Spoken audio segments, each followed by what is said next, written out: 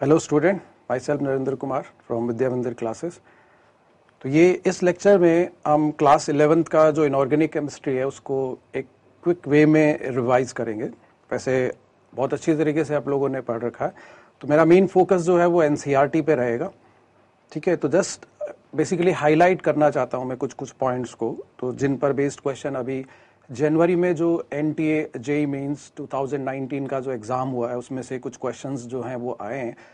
और भी पॉसिबिलिटीज है तो कुछ मेन पॉइंट्स जो है वो हम हाईलाइट करेंगे। आप और अच्छी तरीके से एनसीईआरटी को बार बार पढ़ते रहिए, जब तक आपका जो एग्जामिनेशन डेट नहीं आ जाता है, जो कि आपको पता है कि एडमिट कार्ड वगैरह उसके रिलीज़ हो चुके हैं।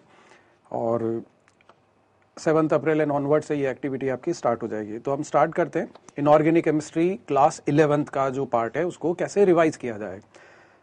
तो ये जो बेसिकली क्लास इलेवेंथ के लिए हमारा जो एक बेसिकली क्विक रिवीजन है इनऑर्गेनिक केमिस्ट्री का mainly N T A JEE main April 2019 का जो एग्ज़ाम है, इसमें जो टॉपिक्स मैंने इंक्लूड किए हैं, वो आपको पता है कि एक तो पीरियोडिक क्लासिफिकेशन जो है वो इनऑर्गेनिक केमिस्ट्री का पार्ट है, इसी को हम ले लेते हैं इसके अंदर। केमिकल बॉन्डिंग इसी में इनऑर्गेनिक केमिस्ट्री में भी हम इंक्लूड करेंगे और फिर जो hydrogen and its compound water hydrogen peroxide include करेंगे इसके अंदर. S block elements and compounds इसके अंदर आ जाएँगे. एस ब्लॉक एलिमेंट्स के अंदर alkali metals alkaline earth metals और सोडियम के कुछ इंपॉर्टेंट कंपाउंड्स का डिस्कशन हो जाएगा. कैल्शियम के कुछ कंपाउंड्स का डिस्कशन होगा.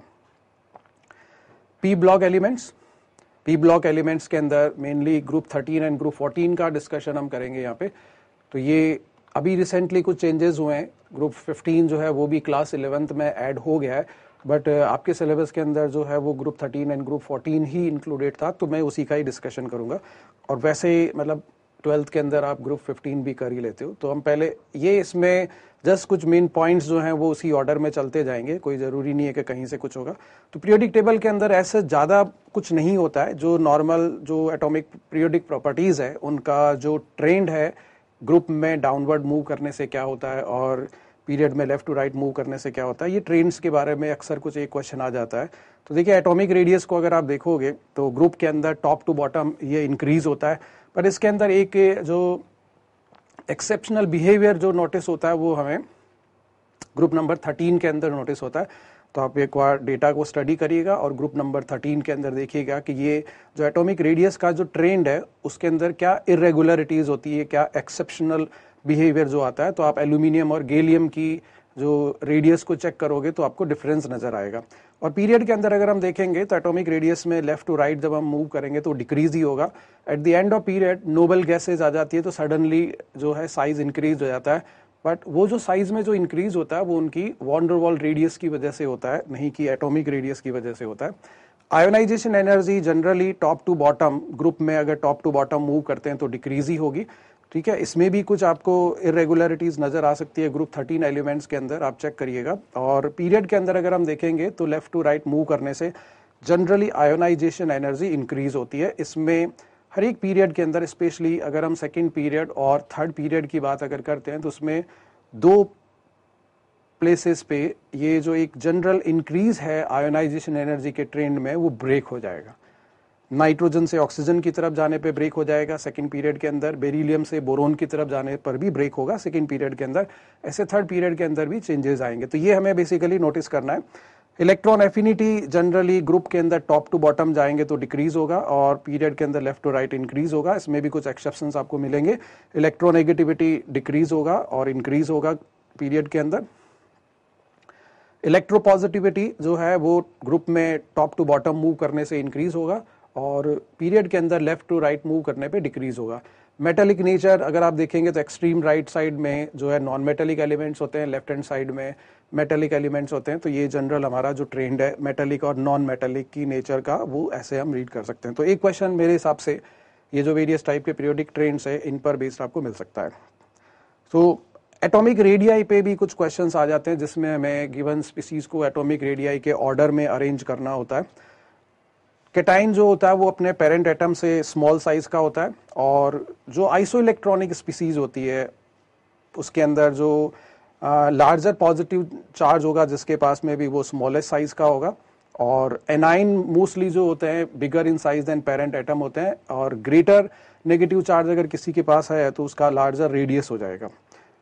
In some cases, we find that some atoms and ions uh, which contain the same number of electrons, we call them isoelectronic species और आइसो इलेक्ट्रॉनिक स्पीसीज में the cationic species having greatest positive charge will be smallest in size and anionic species with greatest negative charge will be largest in size isoelectronic species जो है वो poly atomic भी हो सकती है। तो एक जनरल डेफिनेशन अगर हम देखेंगे आइसो इलेक्ट्रॉनिक स्पीसीज की तो ये है कि two or more species with same number of atoms same number of valence electrons and same structure क्या क्या होना चाहिए? सेम नंबर ऑफ़ एटम्स होना चाहिए। Same number of valence electrons होना चाहिए एंड सेम स्ट्रक्चर होना चाहिए मतलब सभी लीनियर होना चाहिए, सभी बैंड होनी चाहिए, इसी टाइप से। Regardless of the nature of the elements involve are called as isoelectronic species ये जैसे मैंने बताया था कि लेफ़्ट टू राइट जब हम मूव करेंगे तो आयोनाइजेशन एनर्जी के अंदर कुछ चेंजेस नज़र आएँगे। एक इन जनरल हम कहते हैं लेफ़्ट टू राइट मूव करने से आयोनाइजेशन एनर्जी इंक्रीज होती है। बट ये रेगुलरली इंक्रीज नहीं होती, इसमें कुछ ब्रेक्स आते हैं। तो सबसे पहला जो आपको मिलेगा, जैसे सेकेंड पीरियड के अंदर आपको चेंज मिलेगा, दो चेंजेस मिलेंगे। ऐसे थर्ड पीरियड के अंदर भी आप दो चेंजेस मिलेंगे। फोर्थ पीरियड के अंदर अगर देखेंगे तो बहुत इरेगुलर टाइप का बिहेवियर नज़र आ जाता है, क्योंकि उसके अंदर डी ब्लॉक एलिमेंट्स भी बीच में आ जाते हैं और फिर आगे ये चलता जाएगा। तो मेनली जो हमें क्वेश्चन मिलते हैं, वो सेकेंड और थर्ड पीरियड से रिलेटेड मिलते हैं। तो वो आप यहाँ पे देख सकते हो फ़र्स्ट ट्वेंटी एलिमेंट्स के अंदर। जो आयोनाइजेशन एनर्जी का जो ट्रेंड है, वो कैसा है? अब इसमें क्वेश्चन में न्यू लुक देने के लिए एग्जामिनर हो सकता है कि सेकंड आयोनाइजेशन एनर्जी के ट्रेंड के बारे में क्वेश्चंस पूछने लगे। तो जो वेरियस फैक्टर्स होते हैं electronic configuration nuclear charge size इन सबको आपको इंक्लूड करके अपना आंसर फाइंड आउट करना है कि क्या अप्रोप्रिएट आंसर होगा। तो यही बेसिकली प्रिपरेशन है इसी टाइप से। तो मैं जस्ट आपको आइडिया दे रहा हूँ। आप क्विक नोट्स बना सकते हैं इनके कि भाई हमें क्या क्या रिवाइज करना है, कैसे रिवाइज करना है। तो ये बेरिलियम से बोरोन मूव करेंगे तो आयनाइजेशन एनर्जी डिक्रीज हो जाएगी। नाइट्रोजन से ऑक्सीजन तो यू नो दैट नाइट्रोजन एक हाफ़ फ़ील्ड इलेक्ट्रॉनिक कॉन्फ़िगरेशन रखता है तो उसकी वजह से इसकी आयनाइजेशन एनर्जी ज़्यादा होगी। नेक्स्ट ये जो इलेक्ट्रॉन गेन एंथेल्पीज है, ठीक है, इसको अगर आप देखेंगे तो जैसे हमारे पास में ग्रुप ज़ीरो एलिमेंट्स है नोबल गैसेज हैं ग्रुप 18 एलिमेंट्स हैं, इन सब की जो आयन इलेक्ट्रॉन गेन एंथेल्पीज है, ये पॉजिटिव है। और सबसे ज़्यादा जो पॉजिटिव है, वो नियॉन के लिए है। तो ये एक जो है ऑब्जर्वेशन है एग्जामिनर कुछ क्वेश्चंस इस पर बेस्ड पूछ सकता है। ना ग्रुप 17 के अंदर अगर हम देखेंगे या ग्रुप 16 के अंदर अगर हम देखेंगे तो ये जो है मोस्ट नॉन मेटेलिक टाइप की स्पीसीज है इनके अंदर। तो यहाँ पे इनकी जो इलेक्ट्रॉन गेन एंथैल्पी है, वो ज़्यादा है। और ग्रुप 17 के अंदर देखिए आप जनरली जब हम डाउनवर्ड मूव करते हैं ग्रुप में टॉप टू बॉटम तो electron gain enthalpy become less negative but यहाँ पे फ्लोरीन से क्लोरीन मूव करने पर ये थोड़ा ज़्यादा नेगेटिव हो गया है। ठीक है? और सेम ऑब्जर्वेशन जो है वो ग्रुप 16 एलिमेंट के अंदर भी आ रही है। ऑक्सीजन से सल्फ़र आते समय ये ज़्यादा जो है वो नेगेटिव हो गया है। But among all the elements of the periodic table अगर हम देखेंगे तो सबसे ज़्यादा जो नेगेटिव वैल्यू होगी इलेक्ट्रॉन गेन एंथैल्पी की, वो क्लोरीन के लिए होगी। तो ये इस टाइप से जो है हमें थोड़ा सा डेटा स्टडी करना है। एग्जामिनर इन डेटा को स्टडी करता है और क्वेश्चन फ्रेम करता है। तो आपको भी, आपकी टेक्स्ट बुक के अंदर ये सारी इन्फॉर्मेशन है डेटा स्टडी करना है। ठीक है? और एग्ज़ाम के लिए प्रिपेयर करना है। तो ये जस्ट जनरल जो समरी बना रखी है कि इलेक्ट्रॉन गेन एंथैल्पी कैसे मूव करेगा आयनाइजेशन एंथैल्पी में क्या चेंज होगा इलेक्ट्रोनेगेटिविटी में एटॉमिक रेडियस में क्या क्या चेंज हो रहा है, ठीक है across the period across the group diagonally move करेंगे तो क्या होगा, कैसे होगा। तो ये इस टाइप के, ठीक है, ये एनसीईआरटी से लिया है मैंने तो आप वहाँ से और इसको चेक कर सकते हैं। ना हर एक ग्रुप के अंदर जो फ़र्स्ट मेंबर होता है, उसका behaviour rest of the member से डिफरेंट होता है। ठीक है? तो इसको बेसिकली एनॉमलस बिहेवियर हम कहते हैं। तो उसके क्या क्या रीजन है, वो हमें पता होना चाहिए और उसकी वजह से इनकी प्रॉपर्टीज़ में थोड़ा सा कुछ चेंज आएगा। वो क्या चेंजेस है, उस पर बेस्ड क्वेश्चन हो सकता है। So behaviour of lithium and beryllium is more similar with the second element of the following groups that is magnesium and aluminium. तो इसका मतलब lithium resembles very much with magnesium and beryllium resembles very much with aluminium rather than their members of their own groups So this type of similarity is commonly known as diagonal relationship in the periodic properties. So chemical reactivity is the highest at the two extremes of the periodic table. You know that on one of the extreme there is a metallic element on other extreme there is a non metallic element तो इनकी जो chemical reactivity है, वो maximum होगी highest होगी. The reactivity on the left extreme of a period is because of the ease of electron loss or low ionization enthalpy. So, extreme left hand side में most metallic elements होंगे, उनकी electropositivity सबसे ज़्यादा होगी, उनका ionisation enthalpy सबसे कम होगा तो ये हाईली रिएक्टिव होंगे. किसी के भी कांटेक्ट में अगर आएँगे तो इजीली रिएक्ट कर जाएँगे. और ये जो हाईली रिएक्टिव एलिमेंट्स हैं do not occur in nature in free state usually these elements occur in combined form most of them can occur in the form of oxides or carbonates so oxides forms of these elements on the uh, oxides formed by the elements present on extreme left hand side of the periodic tables are basic in nature and the uh, oxides of those elements which are present on the extreme right hand side of the periodic tables are acidic in nature non metallic oxides जो हैं वो acidic होंगे या neutral होते हैं। और metallic oxide जो है वो न्यूट एसिडिक भी हो सकते हैं, बेसिक भी हो सकते हैं और एम्फोटेरिक भी हो सकते हैं। मेटल ऑक्साइड्स जो है वो न्यूट्रल नहीं हो सकते हैं। तो इस टाइप से oxides of elements in the centre are amphoteric or neutral. तो देखिए, जो एक्सट्रीम लेफ़्ट हैंड साइड में एलिमेंट्स हैं, उनके ऑक्साइड्स जनरली जो है बेसिक होंगे। एक्सट्रीम राइट हैंड साइड में जो है, जनरली उनके जो ऑक्साइड्स होंगे वो एसिडिक होंगे। और जो सेंटर में एलिमेंट्स प्रेजेंट है, उनके ऑक्साइड्स जो हैं, वो या तो एम्फोटेरिक टाइप के होंगे या फिर न्यूट्रल टाइप के होंगे। अब एक क्वेश्चन जो है, वो बॉन्ड ऑर्डर पर बेस्ड आ जाता है। ये डायटोमिक स्पीसीज पर बेस्ड हो सकता है या पॉलीएटोमिक स्पीसीज पर बेस्ड हो सकता है। तो मेरा फोकस मेनली यहाँ पे डायटोमिक स्पीसीज पर बेस्ड है। पॉलीएटोमिक स्पीसीज पर आप रिवाइज करिएगा कि कैसे चेक करते हैं। क्लासेज में आपको बताया गया होगा। सो so, इसमें सबसे पहले तो आपको ये देखना है कि जो आइसो इलेक्ट्रॉनिक मॉलिक्यूल्स है या आइंस है उनका बॉन्ड ऑर्डर सेम होता है। मतलब सेम नंबर ऑफ़ इलेक्ट्रॉन्स है तो सेम नंबर ऑफ़ बॉन्ड होगा। Same number of bond order होगा। अब उसमें नंबर ऑफ़ बॉन्ड सेम है या ये ज़रूरी नहीं है? मॉलिकुलर ऑर्बिटल थ्योरी कुछ और कहती है। वैलेंस बॉन्ड थ्योरी कुछ और कहती है। तो आइसो इलेक्ट्रॉनिक स्पीसीज का बॉन्ड ऑर्डर सेम होगा but the type of bond in bond may or may not B same समझ रहे हो आप? जैसे C2 जो है हमारे, ये B2 जो है, उसका बॉन्ड ऑर्डर वन है। F2 जो है, उसका भी एच जो है, उसका भी बॉन्ड ऑर्डर वन है। ठीक है? B2 के अंदर टोटल 10 इलेक्ट्रॉन है और HF के अंदर भी टोटल 10 इलेक्ट्रॉन है। तो दोनों आइसो इलेक्ट्रॉनिक स्पीसीज हो गया। लेकिन B2 के अंदर जो सिंगल बॉन्ड है, वो एक टाइप का पाई बॉन्ड है। बट एच में जो सिंगल बॉन्ड है, वो एक टाइप का सिग्मा बॉन्ड है। तो ये इस टाइप से जो आपको ऑब्ज़र्व करनी है। तो इसे किसके एग्ज़ाम्पल अगर देखिए हमारे पास में F two and O two two minus have bond order of one क्योंकि दोनों के पास में 18 इलेक्ट्रॉन्स है। N two C O N NO plus का जो बॉन्ड ऑर्डर है, वो थ्री है। नाउ जब बॉन्ड ऑर्डर की वैल्यू इंक्रीज होगी तो जो बॉन्ड एंथैल्पी है, वो भी इंक्रीज हो जाएगी और बॉन्ड लेंथ जो है, वो डिक्रीज हो जाएगी। तो सिंपल सा एक ऑब्जर्वेशन होती है तो इसी टाइप से रिलेट करके हम बता सकते हैं। नेक्स्ट क्वेश्चन जो है वो डाइपोल मोमेंट पर बेस्ड जो है वो अक्सर आता रहता है। तो डाइपोल मोमेंट को अगर हम देखेंगे तो एक तो H F H C L H B R H I का जो डाइपोल मोमेंट है, ठीक है? तो ये डेटा है एनसीईआरटी में टेक्स्ट बुक में आपकी गिवन है। तो इन डेटा को अगर आप देखोगे तो एच एफ़ का डाइपोल मोमेंट जो है वो सबसे ज़्यादा है। हम एक्सपेक्ट कर रहे हैं क्योंकि एच और एफ़ की इलेक्ट्रोनेगेटिविटी में डिफरेंस जो है वो बहुत ज़्यादा है। तो यहाँ पे जो पोलराइजेशन है चार्ज सेपरेशन है वो ज़्यादा डोमिनेट कर रहा है डिस्टेंस के रेस्पेक्ट में तो इसलिए एच का डाइपोल मोमेंट ज़्यादा हो गया। और H2O, H2S और CO2 में अगर देखेंगे तो CO2 एक लीनियर मॉलिक्यूल है तो इसका डाइपोल मोमेंट तो ज़ीरो हो जाएगा resultant dipole moment H2O and H2S जो बैंड है तो H2O के अंदर जो है इलेक्ट्रोनेगेटिविटी में डिफरेंस ज़्यादा है इसलिए इसका डाइपोल मोमेंट जो है हमारा ज़्यादा हो जाएगा। ठीक है? देखिए कहीं से भी, जैसे एग्जामिनर ये भी पूछ सकता है कि एच एफ़ एच टू और एन एस थ्री के डाइपोल मोमेंट को कंपेयर करिए। इस टेबल के अंदर डेटा गिवन है। तो आप ये भी देख सकते हैं कि एच एफ़ का ज़्यादा है एच टू ओ का। एच एफ़ से ज़्यादा एच टू ओ का है, ठीक है? और फिर हमारे पास में अमोनिया जो आ गया है, इसका डाइपोल मोमेंट आ गया है। एक और जैसे इंपॉर्टेंट एग्ज़ाम्पल आप देख सकते हैं NH3 और NF3 के डाइपोल मोमेंट को। तो NH3 और NF3 के डाइपोल मोमेंट को अगर हम देखेंगे तो NF3 का डाइपोल मोमेंट NH3 से कम है।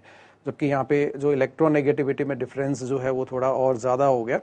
ठीक है तो एनी जस्ट आप इस टेबल को और रिवाइज करिए और जो डाइपोल मोमेंट की आपकी एक अंडरस्टैंडिंग है, उसको और बेटर कर लीजिए। क्वेश्चन एक्सपेक्टेड है डाइपोल मोमेंट पर बेस्ड ये डाइपोल मोमेंट पर बेस्ड जो क्वेश्चन है, वो पैराडाई सब्सिट्यूटेड बेंजीन पर बेस्ड भी क्वेश्चन जनरली आ जाते हैं। तो पैराडाई सब्सिट्यूटेड बेंजीन में जो दो सब्सिट्यूएंट्स लगे हुए हैं, आपको उनकी ज्योमेट्री को देखना है कि वो किस टाइप की ज्योमेट्री प्रोवाइड कर रहे हैं मॉलिक्यूल को। तो बेंजीन एक सिमेट्रिकल मॉलिक्यूल है, इसलिए इसका डाइपोल मोमेंट ज़ीरो हो जाएगा। क्लोरोबेंजीन का डाइपोल मोमेंट 1.7 डिबाई है, ठीक है? बट जो पैरा डाई क्लोरो बेंजीन है, इसका डाइपोल मोमेंट ज़ीरो हो गया क्योंकि सिमेट्रिकल मॉलिक्यूल है। और ये जो हमारे पास में फिनॉल है, इसका डाइपोल मोमेंट 1.40 डिबाई आ गया बट पैरा डाईहाइड्रोक्सी बेंजीन का जो डाइपोल मोमेंट है, वो ज़ीरो नहीं हुआ है, क्योंकि ओ OH जो है वो बैंट मॉलिक्यूल है।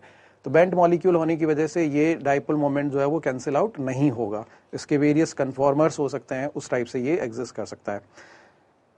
ये डाइपोल मोमेंट पर बेस्ड क्वेश्चन जो है वो ऑर्गेनिक के सेक्शन से भी आ सकता है इसके अंदर, ठीक है? अब इसको आप क्वेश्चन ऑर्गेनिक केमिस्ट्री में इंक्लूड कर सकते हो या इनऑर्गेनिक केमिस्ट्री में इंक्लूड कर सकते हो। बट एक ये आइडिया है कि डाइपोल मोमेंट जो है वो हम यहाँ पे बॉन्डिंग में पढ़ते हैं तो यहाँ पे किसी भी टाइप का आ सकता है। बहुत ज़्यादा कॉम्प्लिकेटेड एग्जाम्पल्स नहीं आते हैं सिंपल से ही आते हैं जो आपकी टेक्स्ट बुक में लिखा है। एग्जाम्पल्स गिवन है, उसी पर बेस्ड होते हैं। तो ये एक जो हम ऑर्गेनिक हेलाइट स्टडी करते हैं क्लास ट्वेल्थ में, उसके अंदर एक एग्ज़ाम्पल गिवन है ऑब्जर्वेशन है। तो इसके डाइपोल मोमेंट को अगर आप देखोगे तो जैसे एचएफ का हमने एक्सपेक्ट किया था, सबसे ज़्यादा होता है, वो है ही है लेकिन यहाँ पे अगर हम देखेंगे तो जो क्लोरोमिथेन है, उसका डाइपोल मोमेंट सबसे ज़्यादा है। क्लोरोमीथेन से ज़्यादा यहाँ पे जो है ब्रोमोमीथेन का आ गया ये। सॉरी ये तो बॉन्ड बॉन्ड लेंथ के डेटा को मैं देख रहा हूँ। डाइपोल मोमेंट को अगर हम देखेंगे तो जो हमें चार सेपरेशन है और डिस्टेंस का जो है प्रोडक्ट देखना है तो चार सेपरेशन और डिस्टेंस का प्रोडक्ट अगर देखेंगे तो क्लोरोमीथेन का डाइपोल मोमेंट सबसे ज़्यादा नज़र आ रहा है। बॉन्ड लेंथ इस ऑर्डर में इंक्रीज हो रही है इलेक्ट्रोनेगेटिविटी इस ऑर्डर में डिक्रीज हो रही है fluorine fluoro to iodo derivative but क्लोरोबेन ये क्लोरोमीथेन का डाइपोल मोमेंट जो है वो सबसे ज़्यादा है 1.87 डिबाई। तो ये भी एक इंपॉर्टेंट एग्ज़ाम्पल है। अब ये मॉलिकुलर ऑर्बिटल थ्योरी के अंदर जो हमारे वेरियस मॉलिकुलर ऑर्बिटल्स होते हैं, उनका एनर्जी ऑर्डर जो है, उस पर बेस्ड क्वेश्चन आ सकता है। So increasing order of energies और वेरियस मॉलिकुलर ऑर्बिटल्स ये डिपेंड करेगा कि मॉलिकुलर स्पीसीज में इलेक्ट्रॉन जो है, वो कितने हैं? ग्रेटर देन 14 है या लेस देन 14 एंड 14 है? तो ये O two end of F2 के लिए जो है, हमारा ऑर्डर बेसिकली कुछ इस टाइप का होता है। तो उसमें ऑब्ज़र्व करने वाली बात ये है कि ये जो हमारे पास में सिग्मा टू पी जेड जो है तो sigma two P Z lower energy का है और pi two P X and pi two P Y जो है वो हायर एनर्जी के ऑर्बिटल हो जाते हैं यहाँ पे। ऑक्सीजन और फ्लोरीन के लिए ये एक ऑब्जर्वेशन है नोट करने वाली है।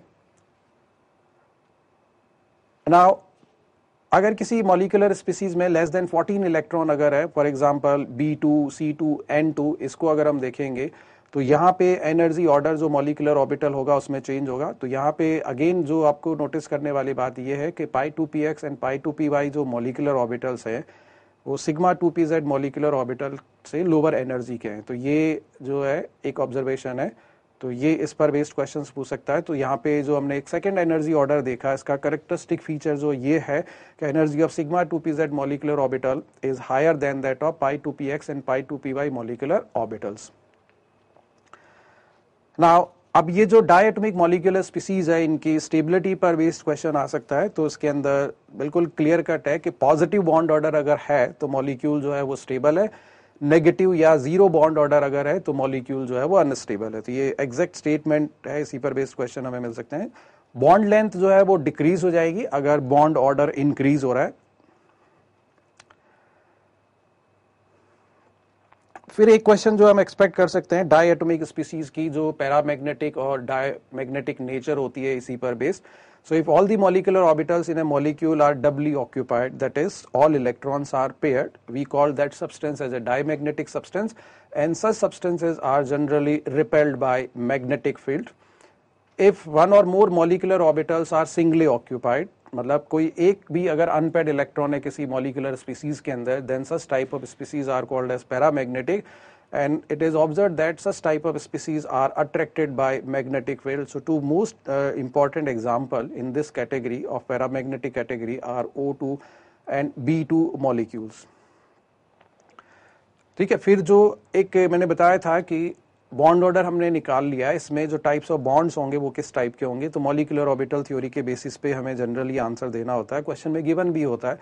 डायटमिक स्पीसीज में अगर टाइप्स ऑफ़ बॉन्ड अगर पूछा जाता है हमें तो नॉर्मली मॉलिकुलर ऑर्बिटल थ्योरी को यूज़ करके हमें आंसर देना चाहिए। So it is important to note that double bond in C2 consists of both pi bonds because of the presence of four electrons in pi molecular orbital, into pi molecular orbital. So bond order of C2 is 2. The double bond in C2 is made up of two pi bond. So it's an unusual things. जो other theories है, वो ये कहती है कि अगर double bond अगर है तो उसमें एक सिग्मा बॉन्ड होगा और एक जो होगा, वो क्या होगा पाई बॉन्ड होगा ये जो हमारे पास में, जैसे देखिए हमारे पास में जो पहली स्पीसीज है बी टू बी टू का जो बॉन्ड ऑर्डर गिवन है, वो वन है, ठीक है और एक और इससे अंदर एक्सट्रीम राइट साइड में अगर आप देखेंगे एफ़ टू एफ़ टू का बॉन्ड ऑर्डर जो है, वो भी वन ही है लेकिन इनकी जो बॉन्ड एसोसिएशन एंथेल्पी को अगर आप देखेंगे बॉन्ड एनर्जी को अगर देखेंगे तो उसमें बहुत डिफरेंस है। एफ़ एफ़ बॉन्ड की बॉन्ड एनर्जी कम है और बी टू बॉन्ड की बॉन्ड एनर्जी जो है वो ज़्यादा है, जबकि मॉलिकुलर ऑर्बिटल थ्योरी के बेसिस पे बी टू के अंदर ये जो सिंगल बॉन्ड है, वो पाई बॉन्ड है और एफ़ टू के अंदर ये जो सिंगल बॉन्ड है, वो सिग्मा बॉन्ड है। जनरली जो थ्योरीज है बैलेंस बॉन्ड थ्योरी टाइप की, वो ये कहती है sigma bond is stronger than pi bond but molecular orbital theory में कुछ और ही ऑब्जर्वेशन है, कुछ और ही जो है वेरिएशंस है तो यहाँ पे आप ये देख सकते हैं। सिमिलरली अगर मैं C2 और O2 को अगर कंपेयर करता हूँ तो C2 का जो बॉन्ड ऑर्डर है वो 2 है, और O2 का जो बॉन्ड ऑर्डर है वो भी 2 है। तो इसमें C2 की जो सी सी बॉन्ड एनर्जी है वो हायर है, और O2 की जो ओ ओ बॉन्ड एनर्जी जो है वो लोअर है। तो ये इस टाइप से आप चेक कर सकते हो, आपके जो वेरियस डेटा स्टडी है। उसी पर बेस जो है वो क्वेश्चन मिलते हैं और इस टाइप से आप ये देख सकते हैं कि B2 जो हमारे पास में, उस B2 के अंदर ये हमें दो अनपेड इलेक्ट्रॉन नज़र आ रहे हैं so that make it paramagnetic और इसी टाइप से O2 को अगर हम देखेंगे तो ये यहाँ पे दो अनपेड इलेक्ट्रॉन हमें दिखाई दे रहे हैं, वो इसको जो है पैरामैग्नेटिक बना रहा है यहाँ पे। बाकी सभी स्पीसीज के अंदर सारे इलेक्ट्रॉन जो है वो पेयर्ड हैं यहाँ पे तो ये O2 and B2 are two important paramagnetic species ना हाइड्रोजन के चैप्टर्स में कुछ इंपॉर्टेंट पॉइंट्स हैं तो इसमें एक जस्ट ये हाइड्रोजन के जो तीन आइसोटॉप्स है ड्यूटी हाइड्रोजन ड्यूटीरियम और ट्रीटियम इनकी रिलेटिव प्रॉपर्टीज़ को अगर आप देखोगे तो ये यहाँ पे नज़र आ रहा है। नॉर्मली इसमें ज़्यादा तो हमें कुछ नहीं देखना है यहाँ पे। सबसे पहले तो ये देख लीजिए कि ये जो आयोनिक रेडियस है हाइड्राइड आयन की, ये बहुत बड़ी है। इट्स एन अनयूजल वैल्यू ठीक है? बहुत बिगर साइज़ की तरह ये बिहेव कर रहा है, यहाँ पे 208 पिकोमीटर की तरह आ जाता है। और हाइड्रोजन की जो आयोनाइजेशन एनर्जी है, वो तो हम बोर्स थ्योरी से कैलकुलेट कर सकते हैं। वहाँ पे डायरेक्टली हम स्टडी करते हैं so we can remember this value ionization energy of hydrogen और यहाँ पे ये जो बॉन्ड एसोसिएशन एंथेल्पी अगर हम देखेंगे तो हैवियर आइसोटोप के साथ जो बॉन्ड एसोसिएशन एंथैल्पी है, वो हायर होगी। 443 है किलो जूल पर मोल और यहाँ पे ये 435 किलो जूल पर मोल आ रही है इसके अंदर। तो ये एक काइनेटिक आइसोटोपिक इफ़ेक्ट की फॉर्म में हम देखते हैं। तो नियरली यहाँ पे जो हमारा मास है वो डबल हो गया यहाँ पे देखिए।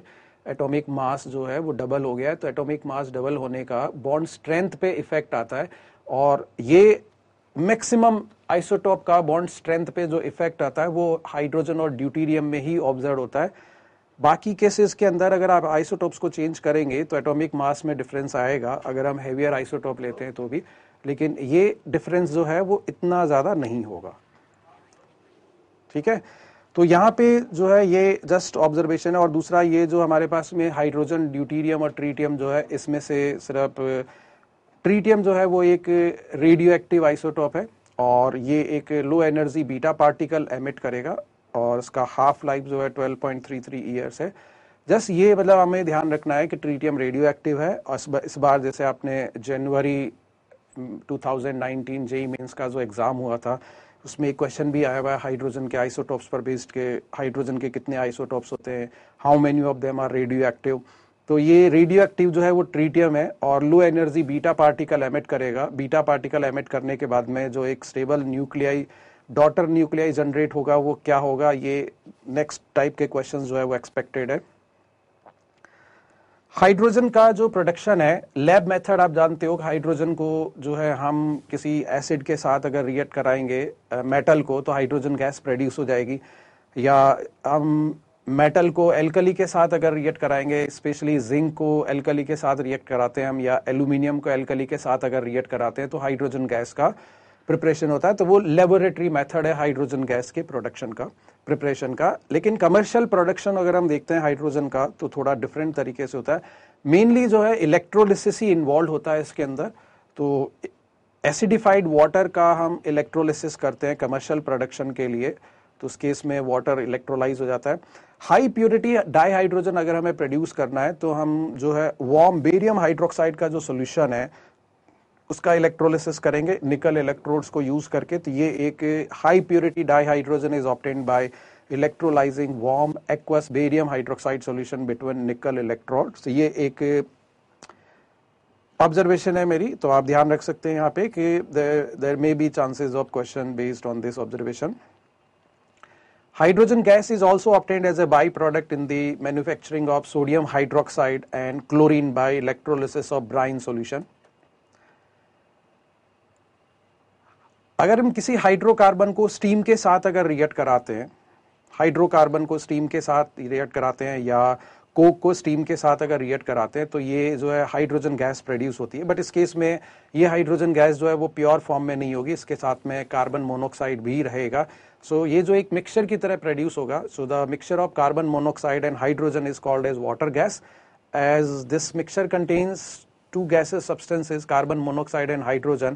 so this mixture can be used for the synthesis of large number of organic compounds especially methanol and hydrocarbons and we call this gas mixture as a synthesis gas or syngas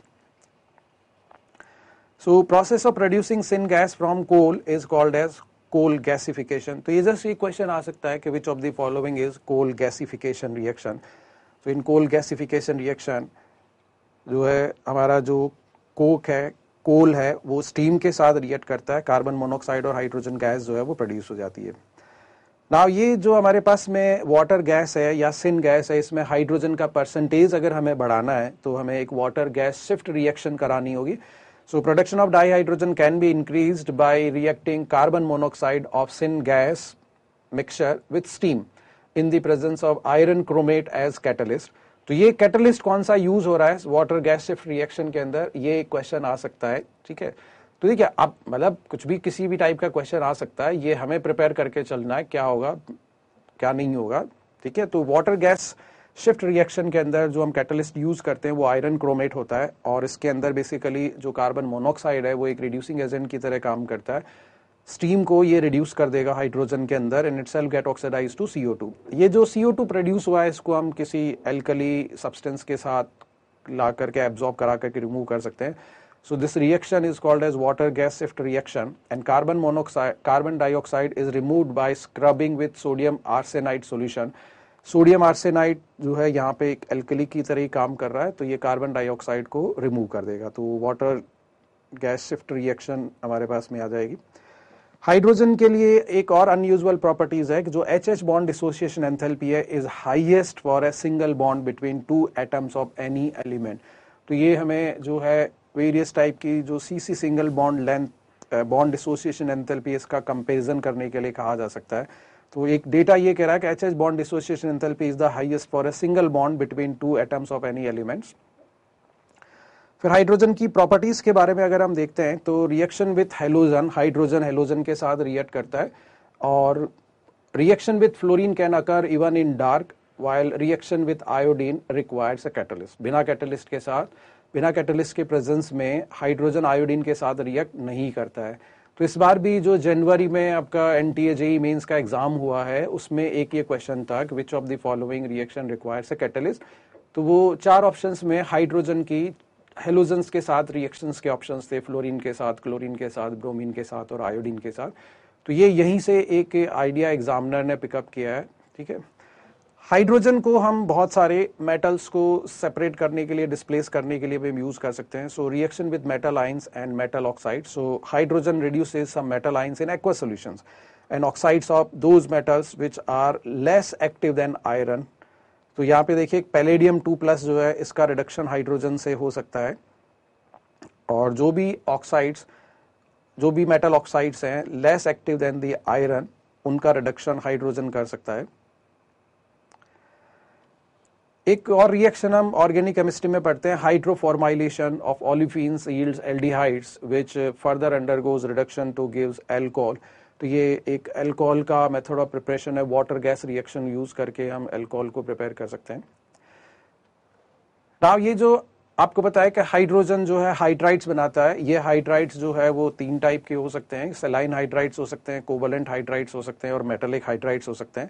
सेलाइन hydrides जो है वो alkali metal and alkaline earth metals पर produce करते हैं और covalent hydrides जो हैं वो group 14, group 15, group 16, group 17 elements produce करते हैं।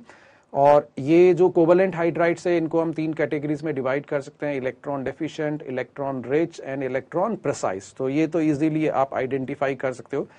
मेटेलिक और नॉन स्टोइकोमेट्रिक हाइड्राइड्स है, ये basically D and F block elements जो है, वो प्रोड्यूस करते हैं। बट एक इंपॉर्टेंट पॉइंट नोटिस करने वाला यहाँ पे कि सारे जो हमारे पास में डी ब्लॉक एलिमेंट्स हैं, ये हाइड्राइड्स मेटेलिक और non stoichiometric hydrides interstitial hydrides produce नहीं करते हैं। सो ये एक हाइड्राइड गैप होता है यहाँ पे डी ब्लॉक एलिमेंट्स के अंदर. So the metals of group seven and seven eight and nine do not form hydrides तो एक ये क्वेश्चन आ सकता है कि which of the following group of the periodic uh, which of in which of following case members of group do not form hydrides तो ये seventh group elements हो सकता है एट ग्रुप एलिमेंट हो सकता है नाइन ग्रुप एलिमेंट्स हो सकता है सिक्स ग्रुप एलिमेंट्स हो सकता है. तो ये इस टाइप से कुछ लिखा हो सकता है। सो देखिए यहाँ पे जस्ट ये हाइड्राइड गैप है। So metals of group seven eight and nine do not form hydride even from group six only chromium forms hydride तो मेरे हिसाब से एक क्वेश्चन हो सकता है कि which of the following forms hydride तो उसमें क्रोमियम हो सकता है ग्रुप सेवन का कोई एलिमेंट हो सकता है ग्रुप एट का कोई एलिमेंट हो सकता है ग्रुप नाइन का कोई एलिमेंट हो सकता है तो उसमें क्रोमियम बनाएगा। सेवन एट नाइन वाला कोई भी नहीं बनाएगा। ये जो भी मेटेलिक हाइड्राइड्स हैं the conduct heat and electricity do not as efficient as their parent metals so unlike saline hydrides which are stoichiometrically stoichiometric these they hydrides are always non stoichiometric means most of them are deficient in hydrogens तो यहाँ पे देख सकते हैं आप ये lanthanum का जो हाइड्राइड्स है इसमें 2.87 हाइड्रोजन एटम है लेंथेनम की जो मोस्ट कॉमन ऑक्सीडेशन स्टेट्स होती है, वो प्लस थ्री होती है। इट्रियम के लिए भी अगर आप देखेंगे तो प्लस थ्री स्टेट में था, लेकिन बट हाइड्रोजन डेफिशिएंट है। टाइटेनियम को अगर आप देखेंगे, यहाँ पे जर्कोनियम है वेनेडियम है निकल है पेलेडियम है एक्सेट्रा तो ये इलेक्ट्रॉन डेफिशिएंट हाइड्राइड है। ये नॉन स्टोइकोमेट्रिक हाइड्राइड्स हैं। So in such hydrides the law of constant composition does not hold good तो ये क्वेश्चन हो सकता है कि in which of the following compounds law of constant composition does not hold now अब water को अगर हम देखते हैं हाइड्रोजन के अंदर एक और हमारा इंपॉर्टेंट पार्ट है water so unusual properties of water in condense phase like ice जो है हमारा, ठीक है, और लिक्विड जो है are due to the presence of extensive hydrogen bonding between water molecules तो ये जो एक्सटेंसिव हाइड्रोजन बॉन्डिंग है इससे क्या क्या हो सकता है वाटर का हाई फ्रीजिंग पॉइंट होता है वाटर का हाई बॉइलिंग पॉइंट होता है हाई हीट ऑफ़ वेपराइजेशन होता है हाई हीट ऑफ़ फ्यूजन होता है compare to the other members of group 16 elements hydride like H two S and H two S E now in comparison to other liquid अगर आप देखेंगे यहाँ पे कि हमारे पास में जो है water as higher specific heat higher thermal conductivity higher surface tension higher dipole moment, higher dielectric constant. So all these properties allow water to play a key role in the biosphere. तो ये water की कुछ unusual properties है। तो इनको आप और read करना हाईलाइट करना आइडेंटिफाई करना, अपने नोट्स बनाना रिवाइज करना।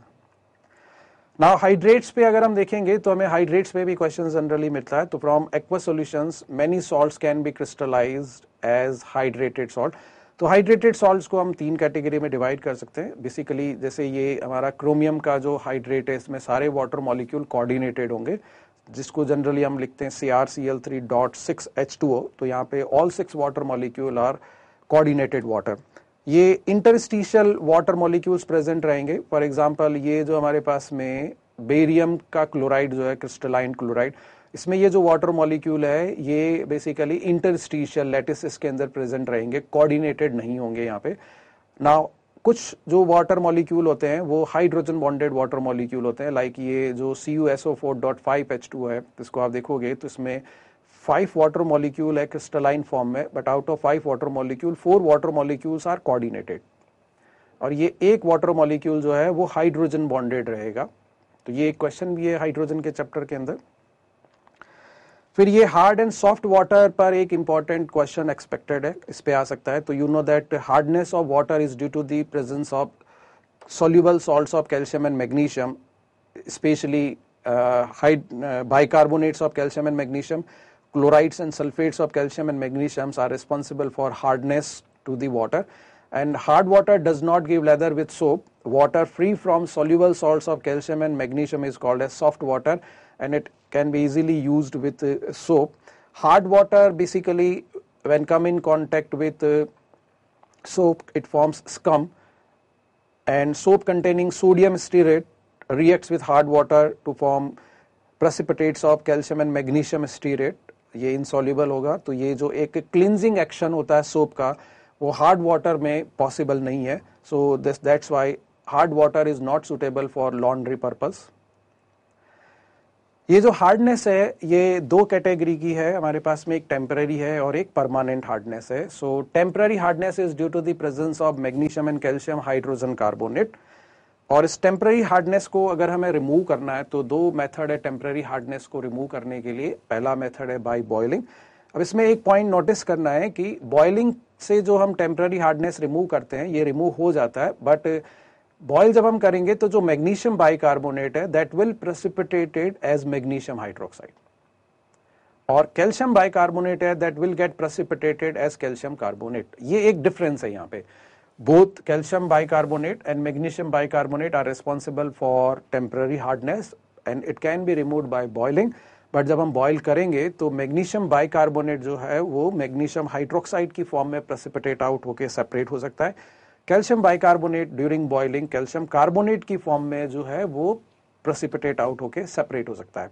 तो यहाँ पे ये कुछ इसी टाइप से हुआ होगा कि मैग्नीशियम कार्बोनेट की जो सोल्यूबिलिटी है वो ज़्यादा है, इसलिए वो प्रेसिपिटेट आउट नहीं हो सकता है। मैग्नीशियम हाइड्रोक्साइड की सोल्यूबिलिटी कम है, वो इजीली प्रेसिपिटेट आउट हो जाता है। क्लार्क्स मेथड के अंदर बेसिकली हम जो है हार्ड वाटर को लाइम के साथ ट्रीट करते हैं। तो लाइम के साथ जब आप ट्रीट करोगे तो देखो, कैल्शियम बाइकार्बोनेट के केस में तो इनसॉल्यूबल कैल्शियम कार्बोनेट प्रेसिपिटेट हो जाएगा। ये इनसॉल्युबल कैल्शियम कार्बोनेट प्रेसिपिटेट हो गया ये। बट मैग्नीशियम बाइकार्बोनेट के केस में अगर हम देखेंगे तो दो सब्सटेंसेस प्रेसिपिटेट आउट होंगे। कैल्शियम कार्बोनेट प्रेसिपिटेट होगा और मैग्नीशियम हाइड्रोक्साइड जो है वो प्रेसिपिटेट होगा। तो ये पूछा जा सकता है कि भाई हार्ड वाटर सिंपल है या जस्ट सिंपल सा कह दिया गया है कि we have a solution of magnesium bicarbonate now when treated with lime what happen so magnesium bicarbonate when come in contact with calcium hydroxide that is lime water lime solution give precipitate of both calcium carbonate as well as magnesium hydroxide now जो permanent hardness है permanent hardness को अगर हम देखेंगे तो permanent hardness is basically due to the presence of soluble chloride and sulphates of calcium and magnesium So, due to the permanent hardness is due to the presence of soluble salts of magnesium and calcium in the form of chlorides. Permanent hardness is not remove by boiling क्योंकि ये precipitate out नहीं होंगे easily तो इनको हमें किसी और form में प्रेसिपिटेट आउट करके निकालना होगा। कैल्शियम और मैग्नीशियम आयन को अगर हम रिमूव कर लेते हैं तो बेसिकली परमानेंट हार्डनेस जो है वो रिमूव हो जाती है।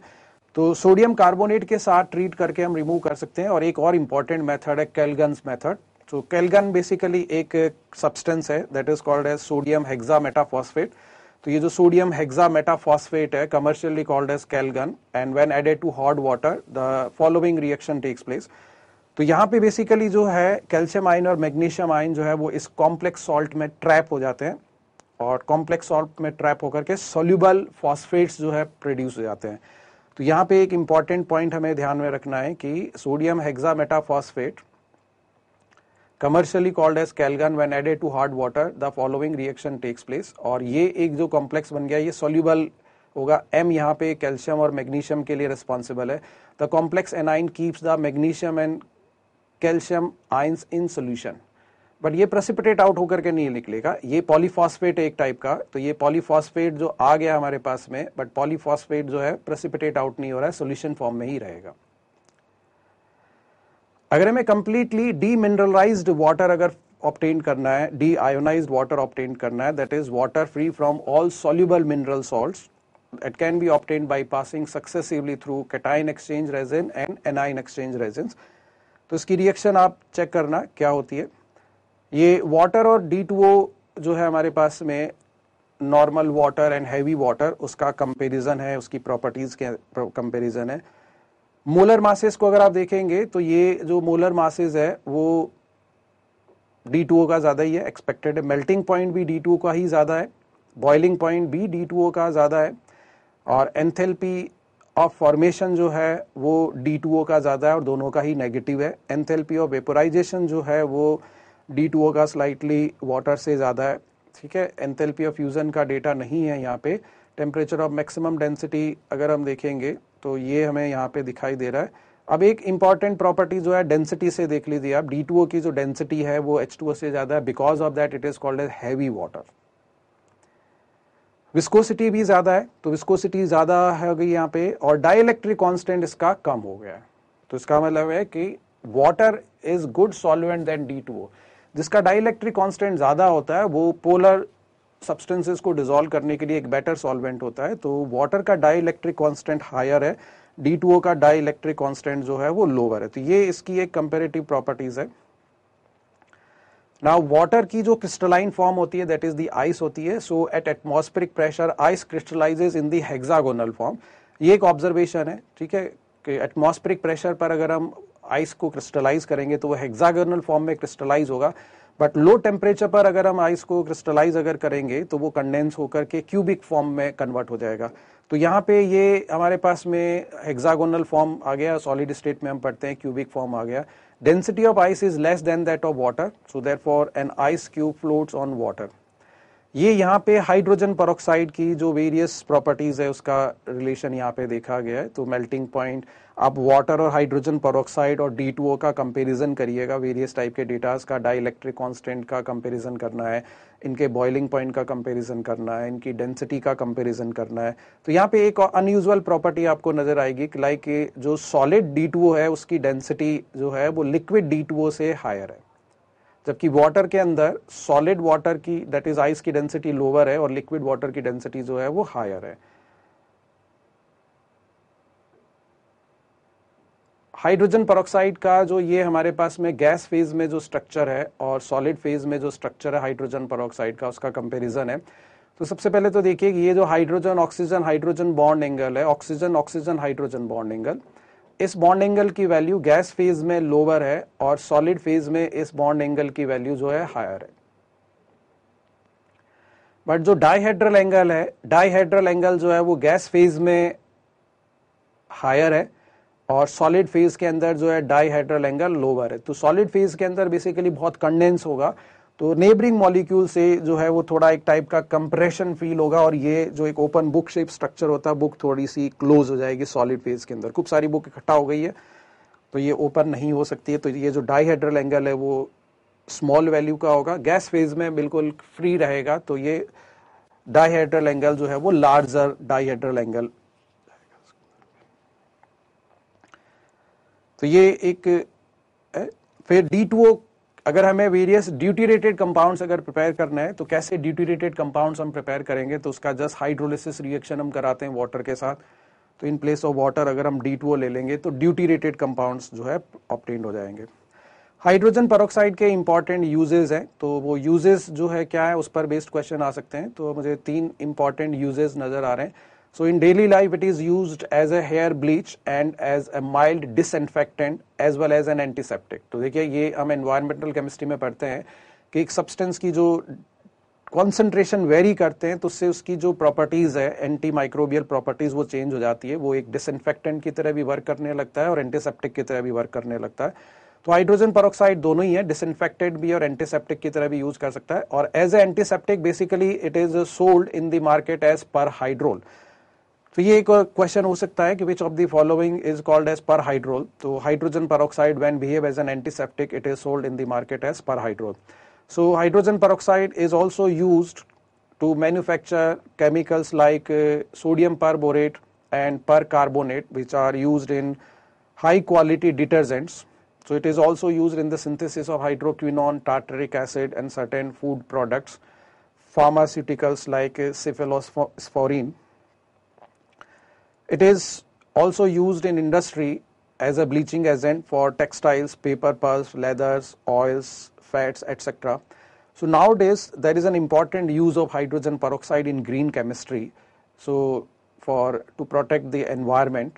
So in pollution control treatment of domestic and industrial effluents, oxidation of cyanides, restoration of aerobic conditions to sewage waste etc. के लिए हम हाइड्रोजन peroxide को यूज़ करते हैं तो ये एक लेस पॉल्यूटेंट की तरह वर्क करता है। क्योंकि इसका जो बाई प्रोडक्ट होगा, वो आइदर ऑक्सीजन और वाटर होगा तो इसलिए ये इनका इतना ज़्यादा एनवायरमेंट पॉल्यूशन इसका नहीं होता अगर हम यूज़ करते हैं हाइड्रोजन पर को तो। तो इस टाइप से ये हमने जो है वेरियस टाइप के कंपाउंड्स देख लिए। अब हाइड्रोजन एज ए फ्यूल भी यूज़ होता है तो जो कैलोरिफिक वैल्यू होती है हाइड्रोजन की पर ग्राम अगर आप देखेंगे तो जो हमारा डाई हाइड्रोजन है, ये सबसे ज़्यादा एनर्जी कंबशन के प्रोसेस में रिलीज़ करता है per gram. Per gram octane सबसे कम रिलीज़ करेगा ऑब्वियस है हाइड्रोजन का मास सबसे कम होता है तो पर ग्राम जो एनर्जी रिलीज़ होगी, वो हाइड्रोजन की सबसे ज़्यादा रिलीज़ होगी और ऑक्टेन का मास सबसे ज़्यादा होगा तो सबसे कम एनर्जी रिलीज़ होगी। तो पर ग्राम ये कैलोरिफिक वैल्यू हो गई एक टाइप से energy release by combustion but per mole अगर हम देखेंगे तो वो ऑक्टेन के अंदर सबसे ज़्यादा हो जाएगा, क्योंकि उसमें खूब सारे बॉन्ड्स होंगे। और पर लीटर अगर कैलोरिफिक वैल्यू अगर हम देखेंगे तो भी वो ऑक्टेन के लिए सबसे ज़्यादा वैल्यू आ जाएगी। तो ये एक ऑब्जर्वेशन है। बट हाइड्रोजन को एज ए फ्यूल हम यूज़ करते हैं तो एक स्टोरेज की प्रॉब्लम आती है। A cylinder of compressed dihydrogen weighs about thirty times as much as a tank of petrol containing the same amount of energy ये इस बार जो जनवरी 2019 में एनटीए का जो एग्ज़ाम हुआ था जेई मेंस के लिए तो उसमें एक स्टेटमेंट था किसी क्वेश्चन के अंदर। तो ये देखिए एक एग्जामिनर कहाँ से आइडिया लेता है क्वेश्चंस बनाने के लिए। ना हाइड्रोजन को स्टोर करने के लिए आप नॉर्मल मटेरियल को यूज़ नहीं कर सकते, उनके टैंक्स नहीं बना करके। तो tanks of metal alloy like sodium nickel alloy या टाइटेनियम हाइड्रोजन अलॉय यूज़ करना होगा या मैग्नीशियम हाइड्रोजन अलॉय यूज़ करना होगा हमें magnesium magnesium hydride alloy, sodium nickel alloy और titanium titanium hydride alloy are used in use to prepare prepare the storage tank for the storage of dihydrogen. But ये small quantity में store ही कर सकता है ज़्यादा क्वांटिटी में store ये नहीं कर सकता। तो इस टाइप से अगर हम देखेंगे तो ये हमने जो है हाइड्रोजन तक का सारा जो है रिवीजन कर लिया सो so, मैंने आइडिया दिया है आपको आपको अच्छी तरीके से अपनी प्लानिंग करनी है पॉइंट टू पॉइंट एनसीईआरटी को रीड करना है आपके क्लास नोट्स को रीड करना है और प्रिपरेशन करनी है जेई मेंस 2019 के एग्जाम्पल्स के लिए। एग्ज़ाम्स के लिए thank you very much for watching this video